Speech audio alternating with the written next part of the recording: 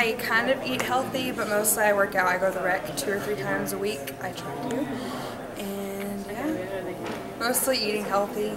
Like, make sure I eat three meals a day. But I try to watch, like, not eating a whole lot, more of in moderations and some snacks throughout the day, but it's kind of hard because classes are all crazy.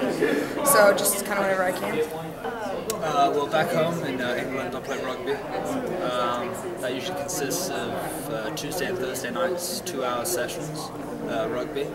Um, as far as fitness goes, we, we do that in our own time. Um, so that would, I mean, I try to do about three three sessions throughout the week.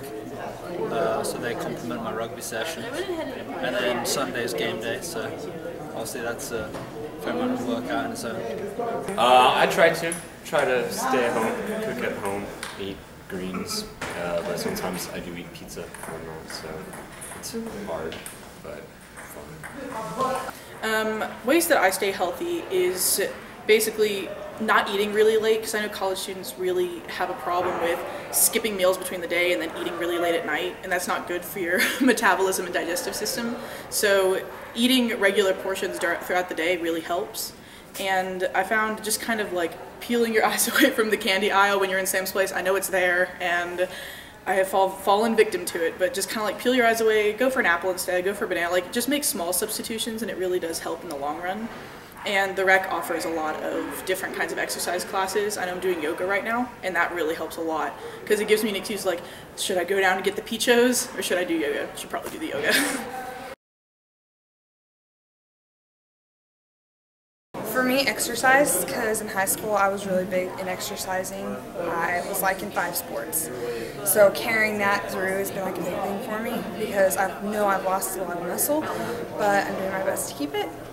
So definitely working out. Um, main thing has to be diet. Diet is, I'd say, 60% of staying in shape, 40% would be training. Um, I mean, my father was a eight-time Olympian, uh, so he's he's pretty big on me with what I eat.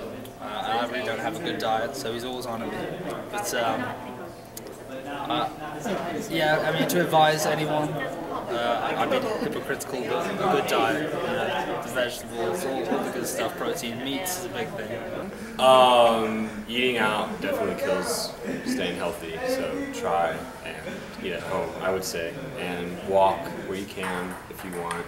You know, stay out of your car. It's hard in this town, but it seems like an easy way. Um, all around I guess Lubbock, there's all sorts of different grocery stores, and if you can't afford super fancy Market Street, then you just go to United, and uh, they have all sorts of fruits, vegetables. You can just buy in bulk for super cheap prices. Just keep them in your mini fridge, or if your roommate share one, just go ahead and take those, and kind of substitute those instead of going downstairs to get food. Just eat what you have in your room. And I would say when you come to like the sub or different eating places on campus, just watch what you put into what you put in your mouth, I guess. Just like know what you're ordering, know what's in it, and maybe change things up because eating the same thing all the time kind of is a detriment.